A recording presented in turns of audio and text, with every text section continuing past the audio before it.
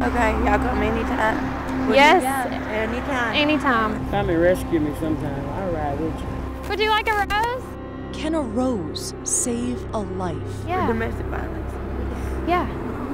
Yeah. Anybody, I mean, if you need a place to Even go. if the person doesn't have their ID on them. Every Friday night, they drive the streets, offering the women for sale in our city a flower free of charge and a way out. Oh my God, I need to take care of my business and get myself together.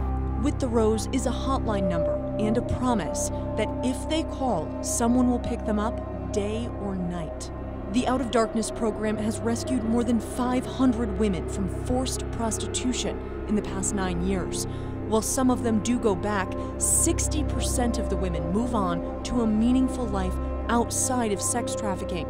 That's double the national average for programs that do the same thing across the country. So many of these women are used to being denied or rejected for one reason or another. So if they're pregnant, if they have mental health issues, if they're on medication, if they have a felony record, none of that matters to us. Director Jeff Shaw says their success comes from taking the women as they are in understanding the scope of the problem in Atlanta.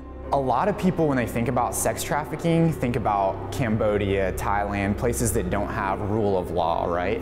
But in reality, Atlanta is a hub for sex trafficking and sexual exploitation. The FBI reports the average age of girls forced into prostitution in the United States is 11 to 14 years old. The group sees the same women most Friday nights. Some are too scared to talk to them at first.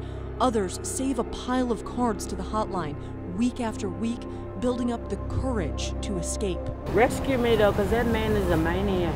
The volunteers, mostly from the Atlanta Dream Center that founded the program, are trained to talk to the women and pray for them, but they never force them to leave.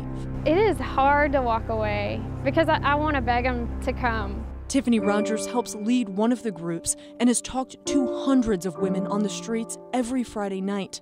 Through the pain and the heartache, she sees hope.